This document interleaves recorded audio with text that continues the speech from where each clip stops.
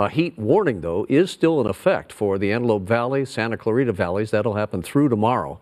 And with the 4th of July now approaching very quickly, the threat of wildfire still looms large. An abundance of vegetation due to all those rainy days we had has since dried out.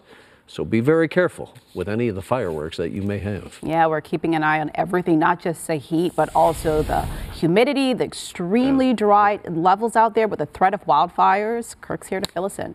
That's right. A lot going on in the forecast this weekend.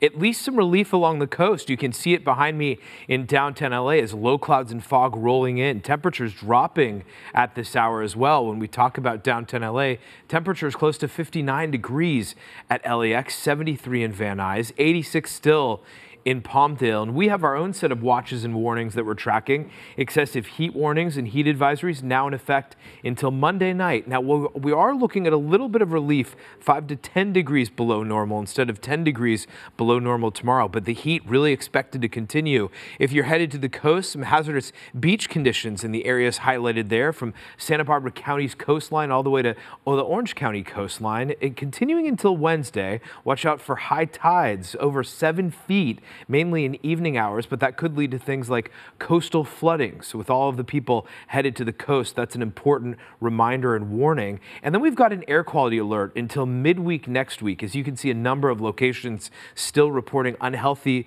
uh, air quality for sensitive groups and others with respiratory conditions. So here's a look at your weather headlines at this hour. That dangerous heat expected to continue tomorrow. Uh, we're getting a preview of what we can expect for your 4th of July uh, fireworks conditions. Clear skies in the valleys and mountains, but cloudy skies likely along the coast. I'll have more details on all of that, plus a slight cool down coming next week. That's ahead in your seven day forecast coming up. For now, back to you. All right, Kirk, look forward to it. Not